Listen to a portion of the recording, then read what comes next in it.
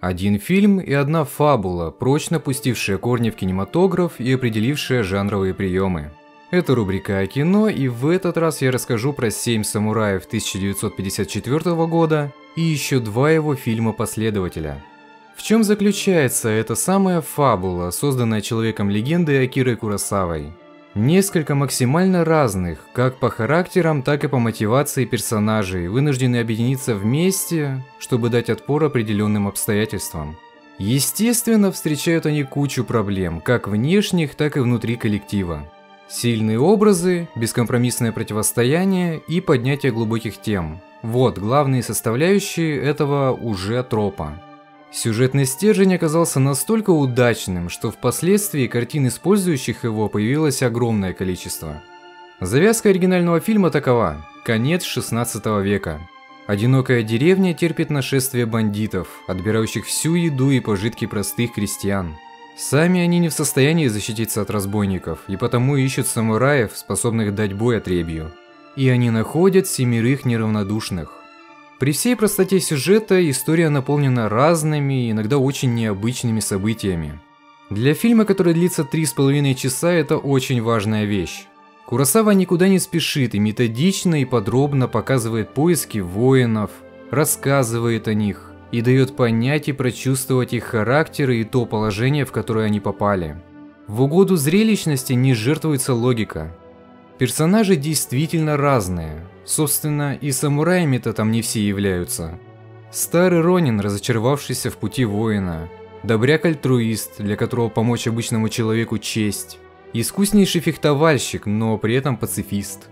Мальчишка, едва начавший обучение ремеслу. Весельчак, не воин, но душа и сердце компании. Ветеран войны, нашедший свое призвание в битвах. И дерзкий вор, считающий, что достоин быть самураем. Вот такая вот компания должна сработаться вместе и защитить невинных. И у меня нет претензий и вопросов к героям, они правдоподобны и их мотивация логична. Кто-то пришел из-за большого сердца, кто-то из-за трагедий в прошлом, а кто-то просто из-за неимения средств к существованию. Большинство персонажей не сильно меняются за время фильма, но вот отношение к некоторым может измениться кардинально. Сценарист и режиссер стараются каждому дать равное количество времени для раскрытия, но это выходит не всегда. Пара самураев все же остается как бы на фоне остальных, но это все же не мешает болеть за них в решающем сражении. Актеры же исполнили свои роли вполне на уровне. Есть пара вопросов, но они не критичны и связаны скорее всего с особенностями японского народа тех лет – Крестьяне тоже сыграны неплохо. Некоторые из них выглядят как-то слишком по-деревенски нелепо, но опять же, возможно, так и нужно было. Так как это фильм о самураях, то и главной темой здесь является вопрос чести и ответственности. Виновата ли власть, которая не может защитить всех в трудное время?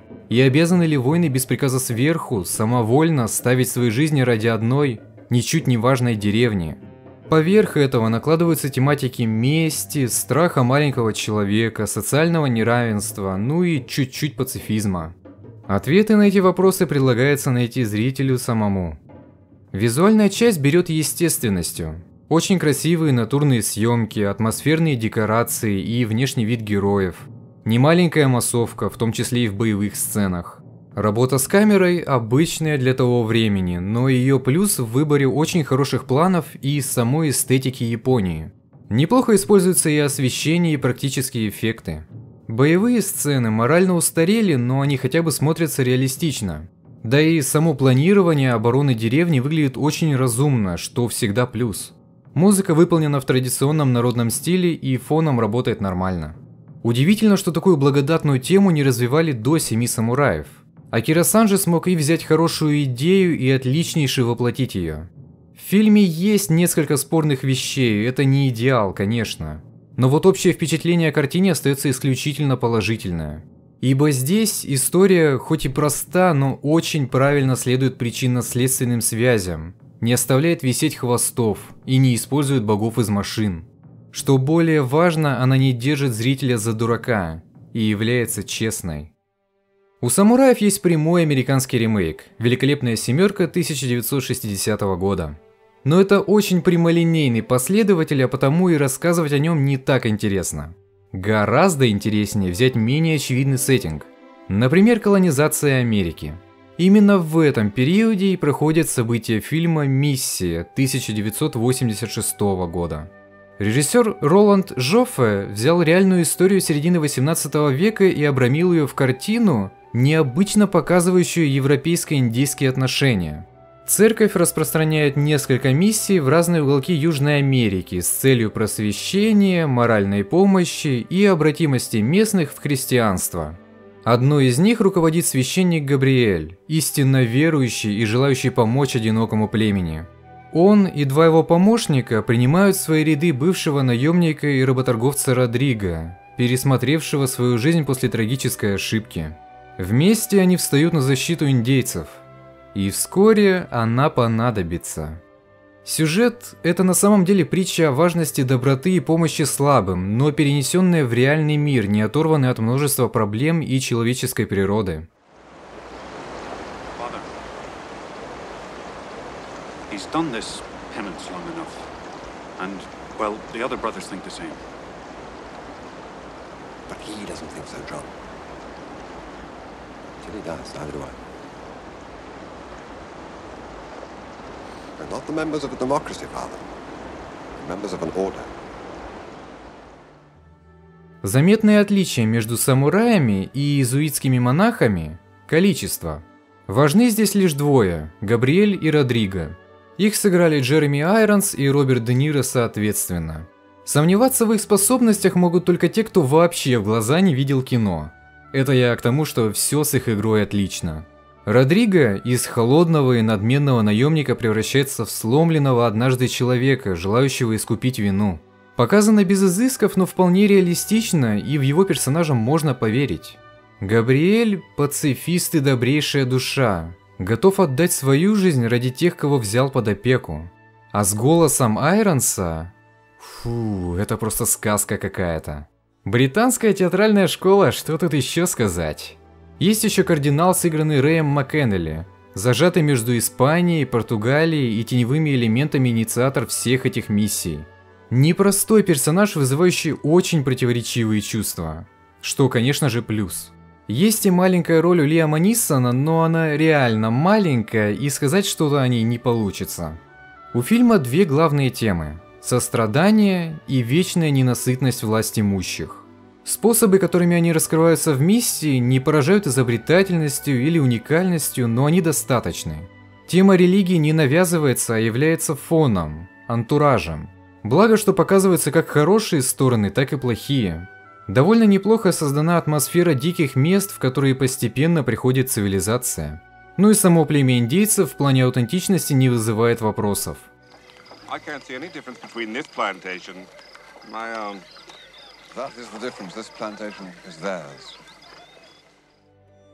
Визуальная часть старомодна. В некоторых моментах сильно заметно влияние классических вестернов, да и вообще кино с 50-х по 70-е много натуры и декораций под открытым воздухом. Вообще в визуальной части много естественности. Если это непроходимые джунгли без дорог, то и грязи будет по колено. Если показывается еще довольно дикое племя, то и голозадых аборигенов будет полным-полно. Операторская работа подчеркнуто стилизована под старое кино. Присутствуют и практические эффекты, а боевые сцены, как и в «Самураях», берут не зрелищностью, а реализмом. Музыкой заведовал Энио Мариконе, смешавший народные индейские мотивы и церковный стиль. Миссия – это не только исторический рассказ, но и явная аллюзия на современное положение дел в Южной Америке. Ну, точнее 80-е, но это не столь важно. Ее сюжет очень просто переложить на нашу действительность, что еще раз показывает, насколько человек может быть и святым, и скотиной. И наконец, хочется рассказать об очень необычной вариации фабулы – «Останься со мной», тоже 1986 года. Вот кто бы что ни говорил, но для меня Стивен Кинг не является королем ужасов. Все его работы это чистейшие драмы, лишь частично вбирающие в себя элементы ужасов. Зато, что можно сказать точно, так это то, что автор умеет писать о детях и подростках. «Останься со мной» – это экранизация повести Кинга «Тело», а поставил ее Роб Райнер – Сюжет супер прост. Четверо друзей в последние дни каникул подслушивают разговор у мутных типов, что в нескольких милях от города находится тело пропавшего ребенка. Желая приключений, они отправляются на поиски. Вот и все. Такова завязка. В сюжете нет никакой закрученности, он не может похвастаться событийной глубиной. Его истинная глубина кроется в том, что это ярко выполненная история о взрослении. Кинг со свойственным ему простым языком, а затем и Райнер показывают простых мальчуганов, еще дураков, воспринимающих жизнь как игру. И именно этот поход должен помочь им пересмотреть некоторые вещи. Казалось бы, в чем сходство с фабулой? Ну а что? Несколько разительно отличающихся персонажей есть. Путь, наполненный препятствиями, есть. Конфликты есть. Даже противостояние с местными мудилами в конце тоже есть. I know I didn't mean to insult me. That's why I'm gonna give him the opportunity of taking it back. Oh, shit. Take it back. Oh, come on, man. Stop it. You're hurting him. Bastard, let go, man. Stop it, man. Take shit. It back, Cut it out. Kid. Важных персонажей можно пересчитать по пальцам одной руки. Буквально. Четверо другальков и главный задира. Сначала о нем. Эйс – типичная жопа. Докапывается до слабых, отбирает у них вещи, крушит почтовые ящики и держит в страхе своих шестерок. Изюминка в том, что сыграл его Кифер Сазерленд с... Э, с офигенной прической. Четверка представлена Горди, Крисом, Тедди и Верном. Все архетипы подростков. Тихий романтик, крутой лидер, безбашенный весельчак и нелепый пухляш. Все, кроме Горди, отыграли очень неплохо. Горди же из-за своего архетипа местами смотрится совсем бревнишком. Но, по крайней мере, остальные трое уравновешивают ситуацию. Есть еще брат Горди, появляющийся во флешбеках и сыгранный еще молодым Джоном Кьюсаком. Мало, но приятно. Отдельный плюс Любимый кинговский сеттинг, 50-е и маленький городок на Среднем Западе. Он прекрасно подходит для этой истории и, например, в современности смотрелся бы уже не так приятно и легко. Здесь все это выглядит как-то чище, что ли, меньше, более изолировано от всего остального мира, что добавляет ощущение личной причастности. Как будто и тебе позволили присоединиться к путешествию. Хорошая атмосфера, чего-то совсем неважного. Она будет очень близка любому мальчишке, который в детстве также проводил время с друзьями.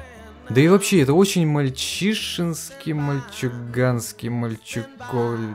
Фу, вы поняли, какой фильм. What is it, Chris? Maybe it's coyotes. Sounds like a woman screaming. It's not coyotes, it's his ghost. Oh, don't say that. Hey, Teddy, sit down. I'm gonna go look for it. I want to see the ghost. Don't say that. I just want to see it. I just want to see what it looks like. Jesus' sake, bald-headed Christ. На чистоту и ощущение детства и приключения работает и визуал. Очень теплая и приятная картинка, красивые натура и виды маленького городка, аутентичный вид персонажей. Работа оператора и монтаж просто нормальные, как собственно и все остальное. Зато здесь немало лицензированных песен того времени. Они хороши, а финальная Stand By Me Бена Кинга вообще очень классно вписывается и для меня является, возможно, главной песней о дружбе. Ну а финальная фраза, хоть и супер ванильная, но черт, насколько же правдивая. Как-то так и можно обыгрывать схему семи самураев, что и делается до сих пор, иногда даже слишком сильно. Это я про бесконечные ремейки и даже ремейки ремейков. Авторы миссии и «Останься со мной» смогли обыграть фабулу либо в неожиданном сеттинге, либо в неожиданном всем. Но так как современное кино не имеет почти ничего кардинально нового и полностью опирается на фундамент прошлого, то и стоит ждать новых вариаций на данную тему. Надеюсь, они будут достаточно оригинальными.